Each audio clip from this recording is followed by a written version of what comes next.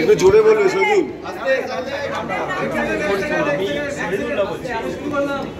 আমরা নবম, দশম ও একাদশ দ্বাদশ স্তরের মেধা তালিকাভুক্ত প্রত্যেক শিক্ষক, শিক্ষিকা পদপ্রার্থীর নিয়োগের ব্যাপারে আবেদন জানিয়েছে এবং এই নিয়োগের বিষয়ে যে আলোচনা হলো, সেটা সম্পূর্ণ সদর্থক আলোচনা।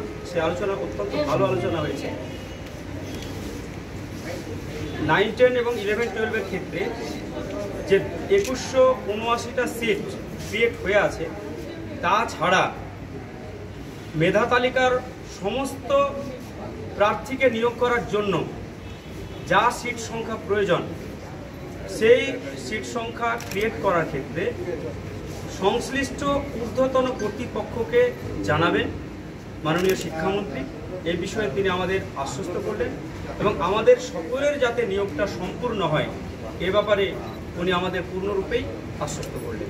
কতগুলো সিট হবে? নাইন ইলেভেন টুয়েলভে যারা মেধাধানী কার্য প্রত্যেককে নেওয়ার জন্য? এখানে সংখ্যাটা অ্যাকচুয়াল সংখ্যাটা এখন আসেনি। অ্যাপ্রক্স সংখ্যাটা ছ হাজারের আশেপাশে হবে নাইন টেন ইলেভেন টুয়েলভ মেধা তালিকা অথচ এখনও চাকরি পাননি। হ্যাঁ মেধা তালিকাভুক্ত অথচ চাকরি আমরা পাইনি। অ্যাপ্রক্স ছ হাজার মতো। কম বেশি হতে পারে একদম। উনিশশো সাতচল্লিশ আর দুশো নিয়ে আলোচনা হয়েছে।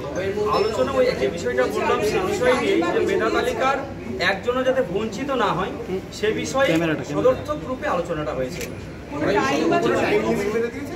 না এটা কোনো সময় এই মুহূর্তে দেওয়া সম্ভব হয়নি।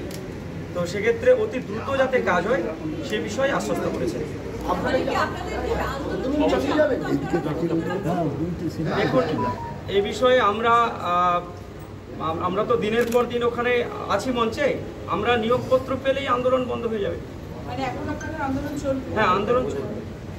আমাদের ধর্ণা অবস্থান শান্তিপূর্ণ ধর্ণা অবস্থান সেটা চলবে। বলছি সবার নিয়োগপত্রের ব্যাপারে সরকার বা শিক্ষামন্ত্রী কি বললেন? সকলের নিয়োগপত্র পাওয়ার ব্যাপারে উনি ওনার জায়গা থেকে সর্বোচ্চ চেষ্টা করবেন। একটা অনেকে বলছে যে মেধা তালিকাভুক্ত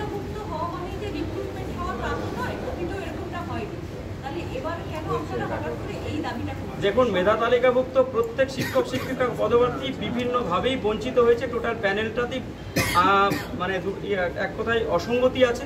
সেই অসঙ্গতির কারণেই মেধা তালিকার শেষ পদপ্রার্থী পর্যন্ত কিন্তু বঞ্চিত হয়েছে। এই নিরিখে এই প্যানেলের সকলেই নিয়োগের যোগ্য।